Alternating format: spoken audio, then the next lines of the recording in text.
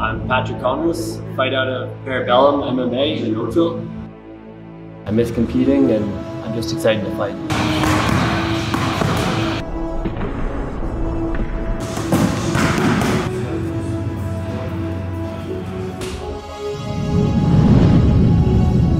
Connors is a tough problem for any fighter to solve. He's uh, the longest 145 pound fighter I've ever seen or worked with. He's got crisp, outstanding striking. He's got multiple one punch KOs.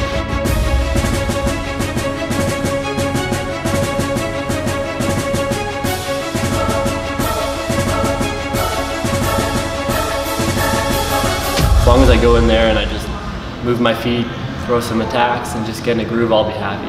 I haven't seen Maxime fight. I've seen him compete in jiu-jitsu tournaments. He's a jiu-jitsu black belt, so can't take that lightly. I want to beat him everywhere. I've rolled with him. His length, his creativity, his speed are all just nightmares to, to, to, deal with. Wherever you feel like you want to take them, right? You want to wrestle us, we'll beat you. You want to strike with us, we'll beat you. You want to go to the ground, we'll tap you out. I know he has his strengths, but I'd like to show that I'm a complete fighter and I can beat him in all areas. If I could land some strikes from the outside, I think I'll have the big advantage there. I don't waste time.